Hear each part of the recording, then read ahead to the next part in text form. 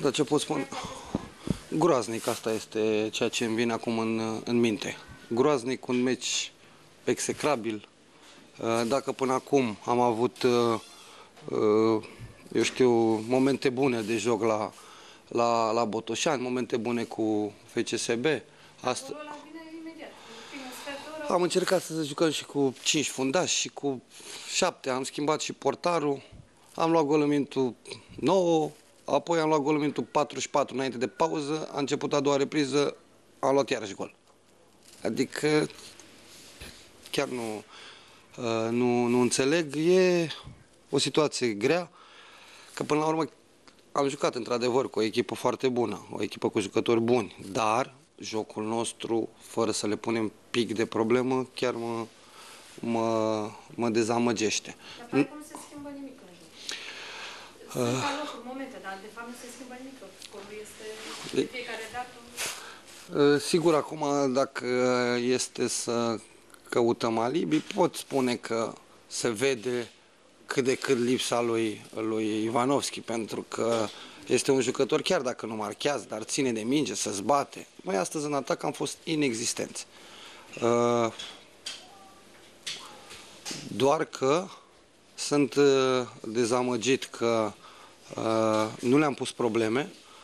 Uh, Chiar dacă pierdeam acest meci contra unei echipe foarte bune, uh, nu era un uh, capăt de țară. În schimb, jocul a lăsat de dorit.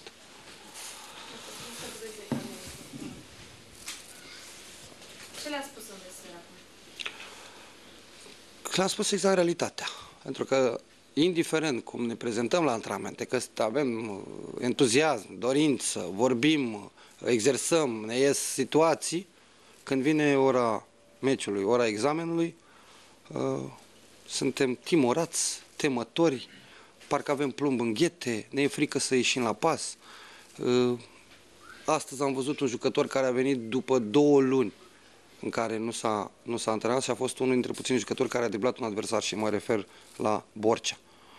Adică un jucător tânăr și nu vine după, vine după două luni și este unul dintre puținii care driblează un adversar, asta se vede într-adevăr că avem, uh, avem uh, temere în joc. Temerea asta în joc vine, ok, și presiunea asta care trebuie să câștigăm, dar până la urmă presiunea ne o facem noi. Oamenii ăștia vin la stadion și normal că ne înjură. Pe noi, clar, normal că... Jurături și demisia și... Toate au... Am venit în primul rând ca să ajut. În momentul când se decide, nu fac, uh, eu știu, că nu trebuie, nu-i momentul, nu. Când s-a decis, am, uh, am plecat. Până atunci sunt aproape de, de jucători, că nu vreau să plec uh, eu când, chiar dacă, nu mi este ușor, asta cu siguranță. Mai ales când văd uh, și asemenea scoruri ceea ce peste puterea mea de înțelegere, adică să luăm goluri cu atâta ușurință, am ajuns să tremur la fiecare șut pe poartă, vă spun sentimentul care l-am pe banca de rezerve. Doamne, să nu dea la poartă. Adică, Tu mai ai resurse să crezi că se poate redresa această situație? da, pentru că, într-adevăr, suntem în, eu știu, la în moarte clinică, dar nu suntem morți. Că până la urmă puteam să pierdem cu 2-1.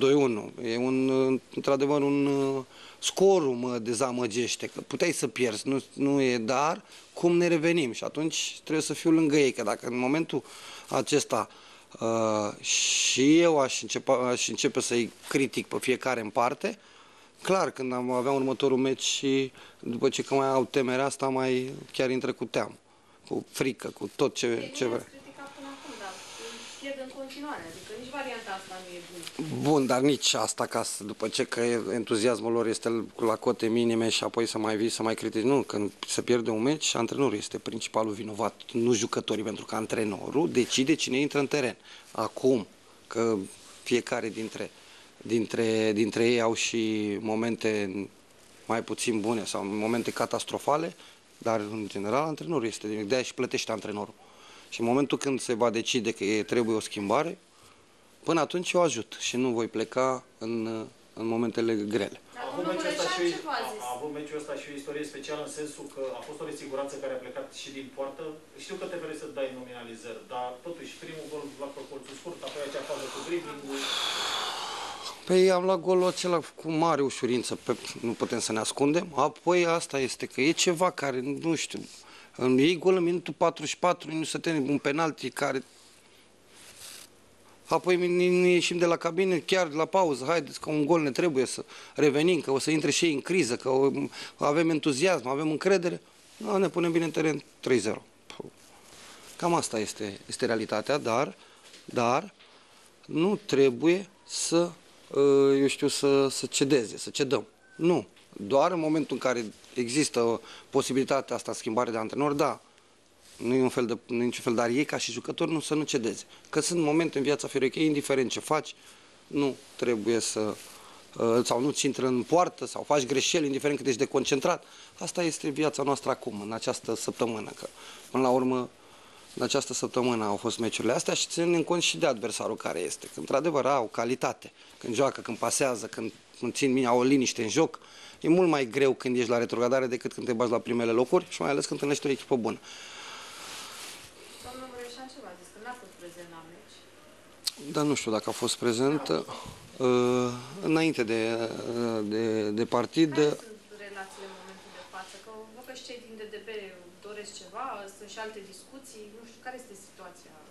Am avut o discuție înainte de, de meci cu o zi, chiar a venit în fața jucătorilor și a, f- a, chiar a avut o um, vorbe de îmbărbătare și și-a- s-ar, s-ar bucura foarte, foarte mult să îi, îi dedicăm victoria astăzi. N-a fost să fie, el mai mult decât să ne of, ne-a oferit liniște, uh, a încercat să ne încurajeze. Ce să facă, să intre pe teren? Nu. V-au dezamăgit într-o oarecare măsură transferurile? Nu dau nume. Transferurile la ansamblu. Nu neapărat, pentru că De greșeli. ca, ca, ca idee, eu cred în potențialul lor. Problema, cred că sunt jucători buni, Ivanov, Rodriguez. Există ceva, nu înțeleg ce, o temere, nu, nu, nu înțeleg, o deslușesc. O deslușesc până la urmă, am avut discuții cu el sau e, chiar dacă o simt, este din bucătăria, bucătăria noastră și v-am zis, nu aș vrea ca să fie mai uh, dezamăgiți decât sunt la momentul ăsta capul sus, asta este. Nu putem acum ce facem, ne lăsăm de fotbal. Capul sus, mergem, încercăm să ne reparăm la minte, să nu mai fim timorați, că nu sunt extraterestri. Dar presiunea afară nu mai este cea de pe vremuri. Că Înainte... Tocmai asta le-am spus și lor, bă băieți, nu vă înjură lumea, nu vă înjură lumea, nu vă critică sau chiar dacă vă, că vă critică, vă pună pe bună dreptate. Sunt niște critici care și pe mine, și eu mi le asum. Adică acum ce fac? Nu mai vin, nu mai mm, plec? Ce- Nu, sunt Dar lucruri... presiunea, acum câțiva ani erau alertate. de 100% nu este o presiune și oamenii cântă și aplaude. Eu n-am auzit astăzi decât în momentul când chiar greșești, chiar greșești, când oamenii chiar și-au pierdut uh, răbdarea. Pe bună dreptate, eu pe bancă aveam, emo- aveam uh, dezamăgirea asta, da, oamenii ăștia care vin la meci. Asta e realitatea. Și să ne supărăm că ne critică sau că ne înjură sau că nu, e logică, oamenii vor să vadă la un dinamă. Tot spunem că facem, că dregem. Tot spun că uh, văd, într-adevăr am văzut, în afară de meciul de astăzi, că astăzi am fost groasnici. Până acum am văzut determinare, alergăm, luăm gol, luăm mingea, jucăm. Astăzi zici că am avut, am avut plumb în picioare. De cât de mare e rușine? Foarte mare, Nu, se, nu pare a fi nici bun. foarte mare, foarte mare, foarte mare, foarte mare, dar asta este. Apropo de adversari, este a șasea înfrângere consecutivă în fața Universității Craiova. Mm, De câte știu, în istorie Dinamo nu a mai nu s-a mai întâmplat să piardă cu aceeași echipă de șase ori consecutiv. Se adaugă la recordurile negative ale lui Dinamo în ultima perioadă. Păi clar, dacă este o frânge și mai ales la ce scor, clar, e un, dacă e statistica care, care o spuneți, e un record negativ. Dar, până la urmă, statistica și astea nu sunt primordiale la noi. Acum e problema cum jucăm fotbal. Cum îi batem pe cei de la UTA. Cum reușim să, eu știu, să nu mai ne fie teamă, să jucăm, când până la urmă de asta ne-am apucat, că au potențial. Dacă îi vedeți la antrenament, sunt oh, șuturi, vincluri, plecări pe spațiu liber, uh, dueluri. Când vine meciul avem o... Ce avem? Nu, nu înțeleg. În fine. Se mai poate salva Dinamo? Se poate. Cu mine, fără mine, cu oameni, pentru că se poate. Cum să nu se poate?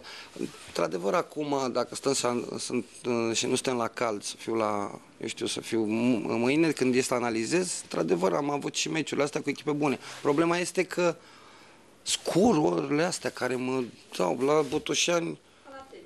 deci la Botoșani vreau să vă zic că începusem bine, am avut situații acolo, o centrare, pac, 1-0. nici ocazie, adică să fie o dominare din partea adversarului. Încep, ne punem bine în teren, prinde deja 2-0. Cercăm iarăși, revenim, dăm, avem ocazie pentru 44, dăm pe lângă poartă, adică a fost altceva. Dăm gol, ca să vedeți cum e soarta noastră la, la, acum la echipă, la golul când l-a dat Ivanov din offside, eram patru jucători cu poarta goală, trei nu erau în offside, cine a dat gol? Al patrulea din offside. Adică, parcă toate, nu mai știu, să luăm și preoți, și nu știu ce să mai fac. Din ce vă Poate și asta o păstrați variantă. Optimismul ăsta? Adică ce vă face să mai credeți în salvare? Pentru că au potențial, adică nu văd jucători să nu știe să, sau unul dintre ei să nu aibă calitate, să dribleze, să... Problema este când vine examenul final, atunci avem o problemă și trebuie să găsesc cheița atâta timp cât uh, mi se cere sau atâta timp cât, cât, uh, cât pot. Trebuie să o găsesc. Nu știu, am încercat să pun și presiune, am încercat să fiu și foarte uh, apropiat de ei, am spart și o tablă, am dat și, adică le-am făcut pe toate. Dar n- trebuie să o găsesc până la urmă. De asta cred în, în, în, în ei, pentru că au potențial. Nu sunt jucători rudimentari, nu sunt jucători care nu au calități. Și acesta lui care a luat roșu și a dat Până atunci să știți că a făcut o partidă destul de bună. A fost unul dintre jucătorii care îți dădea cât de cât siguranță acolo în spate. Și apoi a venit acel, acea uh, execuție, acea întârziere, acel atac întârziat roșu. Am văzut și asta. Iarăși, 10 oameni. Măcar un lucru bun astăzi, că Alex Răuță n-a luat cartonaș galben. Asta este un lucru bun. Dacă am ajuns să spun asta, vă dați seama, din meciul de astăzi este un lucru bun, că nu au luat cartonaș galben. Alex. În două meciuri cu Universitatea Craiova, practic, a luat 12 goluri. Fuzul averajul este 12 la 1. Ce se întâmplă în acest moment? Păi. E vorba de un blocaj psihic, nu pot să Păi v-am zis mai devreme, trebuie să găsesc eu cheița lor pentru că nu sunt jucători rudimentari. Nu sunt, asta cu siguranță și o spun cu toată încrederea. Problema este când vine examenul final, aici avem o problemă. Luăm golurile astea, să vorbim cu, strict pe joc, luăm gol în minutul 6, minutul 10, minutul 15, jocul, schimb sistemul, jucăm cu 5 pe linia de fund. Bă, poate într-adevăr, nu știu, se ajută unul pe altul când mai greș, se mai greșește, că mai există, eu știu, teama asta de, de joc. Dar nici așa cum dăm un șut la poartă gol. Incredibil, incredibil. Dar, încă o dată, vreau, nu vreau să se creadă că este unul sau altul de vină. Nu, toți. Toți, pentru că nici în atac nu marcăm, nici la mijloc, nici în apărare nu ne apărăm. Deci nu vreau să credem acum că doar portarul este vinovat. Nu, toți suntem vinovați, eu și cu ei. Îi duceți la biserică până la, la meciul cu ta. Da, Am apelat și la variantele astea. Da. Ce să faceți? da. Fabio, stai gândit la un psiholog, că nu uită în biserică, nu uită în Un psiholog, Vorbește Grigore și spune că nu are ce să mai facă, e vorba de un psiholog aici. da, pentru că au ajuns să, să nu mai creadă în forțele lor. Credeți-mă că sunt momente când vor să uh, mai bine să nu, intră, nu joacă. Adică e ceva. Mai bine când să fie rezervă. Nu neapărat. Nu, nu, nu, nu cred, nu. Adică n-am ajuns la stadiul acesta să cred că... Nu, într-adevăr, e teama asta de, de, de joc la momentul acesta. Dar aici trebuie. Cu duritate, mai rău o faci. Dacă trebuie să fii, nu știu, o să găsesc. Spune că dacă e nevoie de să pleca, dar crezi că schimbarea de antrenor poate aduce ceva? Pentru că s-au tot schimbat antrenori, adică Se poate orice. Nu știți cum pleacă un antrenor, există un declic la echipă, nu știu. Chiar nu știu. La momentul ăsta eu nu cred. Dacă mă întrebați pe mine, nu cred. Dar nici nu sunt omul care uh, ai rezultatele astea și eu ce fac? Continui așa, oamenii poate vor să plec și eu zic, nu, nu, nu, eu stau aici. Nu, când se va decide, cu siguranță, dar eu am venit să ajut. Adică nu am venit la Dinamo într-un moment și mi-e drag și acum stau de scaun și stau numai pe el. Nu, în momentul când se decide lucrul ăsta, da, când s-au apelat la mine, am zis da. Când se decide că e nevoie de un alt uh, antrenor, da, dar ei ca și jucători, indiferent de situație, nu trebuie să cedeze. Nu trebuie să cedeze, că până la urmă acum ce facem? Ne ducem la UTA cu capul așa? Asta e, sus, s-a luat șase, dăm și noi cinci. Putem? Da, să vedem. Când dacă o să văd și asta, Da. asta este. Seară bună.